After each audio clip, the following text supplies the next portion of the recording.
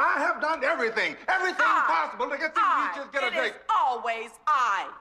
There are 300 teachers on the faculty here. You do not do it all alone. I don't have to stay here and listen to these accusations. You will listen.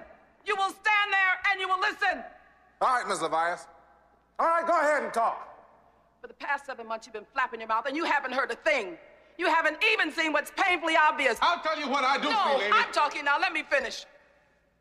Everybody here may not like you as a person, but we all applaud your effort. But what you don't understand is the same people who support you, the ones that you're beating up. You don't even take the time to say, thank you. A job well done, nothing. You just step in their necks, constantly abuse them, Ms. Criticize them. what do you want? What do you want? I want you to get this straight. Most of the teachers here are here because they care about those children out there, this school, this fight. They are in it with you. They take it home at night the same as you. They are part of those children's lives. You are thoughtless and cruel, and it hurts. And none of them deserve it. They are sick of it, and so am I.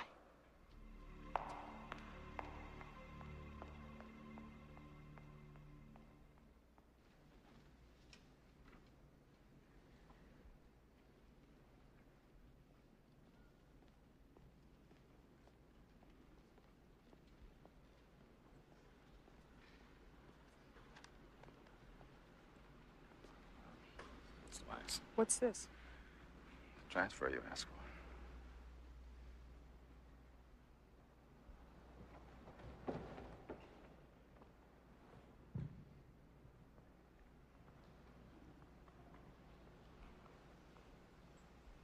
All right, people, here we are.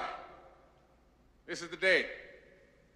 In one hour, you are going to take an exam administered by the state to test your basic skills and the quality of education at Eastside High.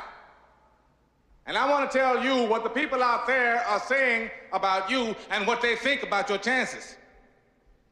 They say you are inferior.